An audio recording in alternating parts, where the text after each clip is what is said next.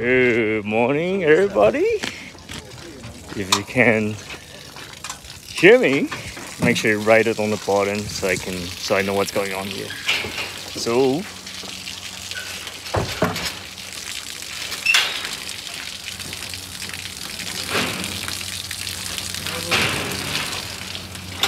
So guys are just setting up. Um, we're doing a, a rainbow trout release today at Mill Lake, uh, putting in roughly around 1,200 fish into it. It's the first release of the year, and uh, the program itself um, puts several thousand fish into Mill Lake. This is part of the Urban Lake um, catchable rainbow trout program. Catchable meaning that most all of the fish average around 250 grams. The guys are just setting up right now.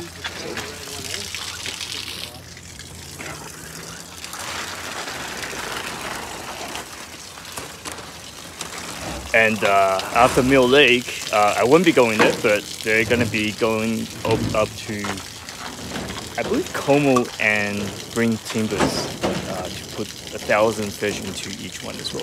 If you guys have any questions, uh, make sure you type it out and I can answer them right here for you. So, just putting the pipes together right now and uh, to get it ready.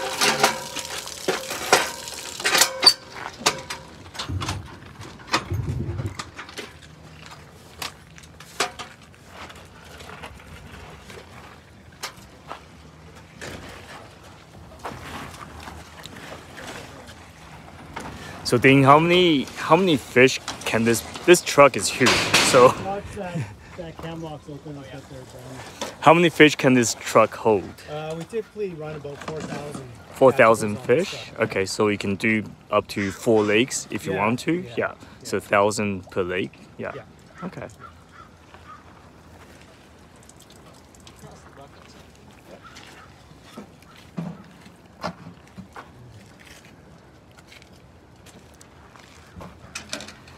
So, so the first question is, how do you count a thousand fish?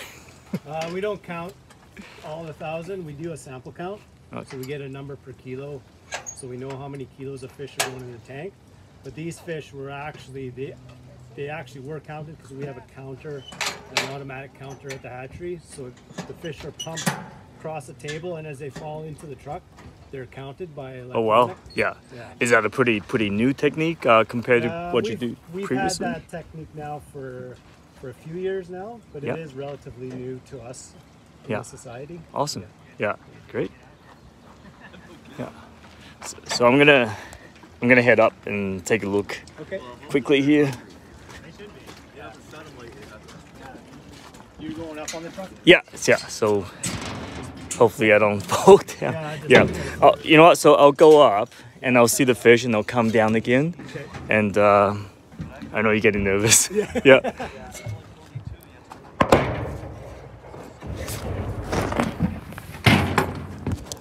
So Mike's gonna show us uh, a thousand fish in the tank right now. So this is Mike. Uh, hold on one second, turn this camera around. So this is Mike. Mike works at the Fraser Valley Trout Hatchery, um, operated by the Freshwater Fisheries Society BC. Um, yeah, a thousand fish. So how big are how big are these fish, Mike? These fish are uh, 225 grams Okay. on average. Yeah. Nice. Um, and they're the Fraser Valley uh, Strain. domestic strain. Yeah. Right, yeah. yeah. And we call these catchables because you can pretty much catch them right away once they're being released, right? Does it take? I know you fish a little bit as well because we fish together. Yeah. So do, does it take some time for them to adjust in the environment? Um, I've had uh, people catch uh, these within a half hour of release. Yeah. However, you'd probably want to let them have a day or so Mhm. to acclimatize to the lake, Yeah. and then they'll be hungry because Yeah. these fish have been starved for a few days, so they're uh, looking to eat. Yeah. Yeah. Um, they they bite easily, and they're quite aggressive. So Mhm. it's great uh, in the urban lakes for the casual angler and Yeah. uh, for kids especially. Definitely. Yeah. And at Mill Lake, you see, got, got a couple angles out here already. That's and uh, there's a new floating dock, um, where you know anyone without a boat can fish on as well. So That's right. Yeah. yeah.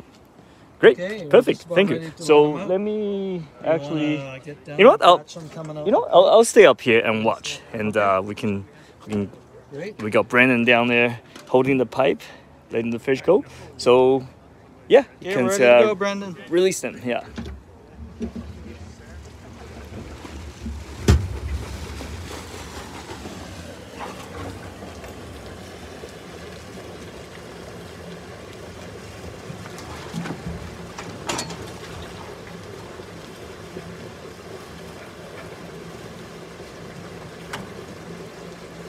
Wow, look at them all.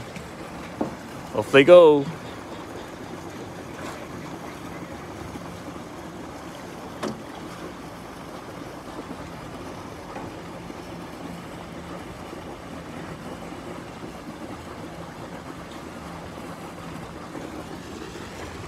Yeah.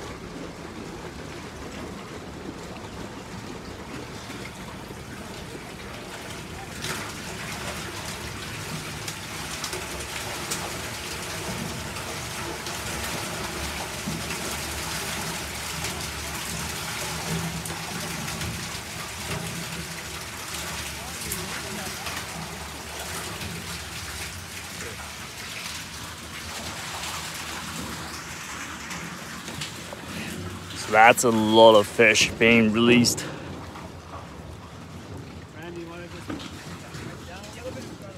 I'm gonna climb down the hatchery truck without falling here.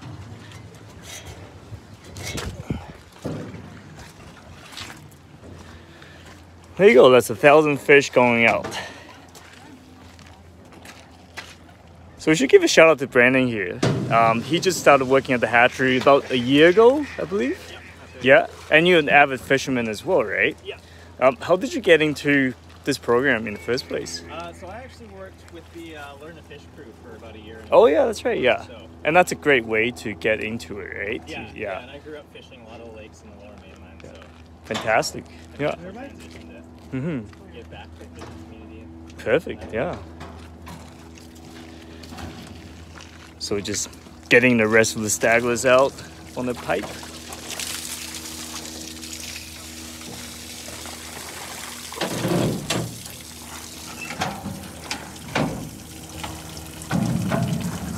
I got a few questions for Dean. Dean's the uh, assistant manager at the hatchery. Um, we'll ask him for a few questions before we sign out here. Thank you for watching, everyone. So Dean, so with this, with the urban catchable rainbow trout program, um, how many fish goes into Mill Lake per year Uh, Mill Lake gets about 3,000 fish. Uh, for for the entire For, year? well, for the For the- for the- spring. Oh, for the entire spring, Yeah. and then there's a fall stocking as There's well, a fall stocking That well, yeah. happens roughly around, I guess, late September. Yeah, September, October. Yeah. Yeah. Is that another three thousand fish? No, it'll be another, I think, 1,500. Okay. Yeah. Yeah. So it's a little fish being, you know, you can catch around here, right? Mm-hmm. And they don't usually get caught right away. You know, that's kind of like the urban myth that the fish are gone within a few days, but they, they do, you know, the, the fish are kind of smart. They can. They Yeah. can get in Oh, the yeah, deep, and some will grow a little bit, and they, they do you do get bigger ones than the ones these 250 gram ones as well. So Yeah. yeah, Yeah, and there is, they definitely do overwinter in Mill Lake. Um, you know, people do catch them. They've been catching fish already this spring before we've even stocked it. So Mm-hmm. that tells us that there is some overwintering and they are growing. yeah. So they, they're quite a bit larger than when we put them in. So they are finding enough stuff to feed on and, and grow. Yeah. And there's roughly around 2,000 lakes uh, between Whistler and Hope in this program. Um, I believe I counted. No, so 2,000? Two, 2,000. Two dozen. Dozen, Yeah, yeah, two- yeah, yeah. Not 2,000. Yeah, we have about yeah, there's about 35 to 40 lakes that we stock with catchables um, throughout the province from our hatchery. Okay. Oh, from Oh, our nice, hatchery. yeah. So yeah, not all those are in the lower mainland, but there's some in the interior. But Yep. the majority of them are in the lower mainland. Yep. Yeah. Yep. It's a great, great program for entry level anglers, Yes. um, for kids, or even avid anglers. If you can't get away for the weekend, you can't go somewhere far, but you Mm-hmm. can just come down and wet a line and catch some fish. So make sure you get your freshwater fishing license as well before you come out. Um, all of the revenues from the freshwater fishing license goes into programs like this, which is fantastic, but also the floating dock. Um, With the Freshwater Fish Society BC funds a lot of floating docks to provide more better access for anglers as well. So thank you, Dean. Yeah. Uh, we're gonna log out now. We're gonna, just, yeah, that's right. So we're gonna, go? we're gonna, not yet. We're gonna, we're gonna sign out now. Thank you for watching. Uh, make sure you check out gofishbc.com for uh, release updates and uh, subscribe to the channel. So until next time, good luck fishing. Thanks, Dean. All right. You're welcome. What am I saying?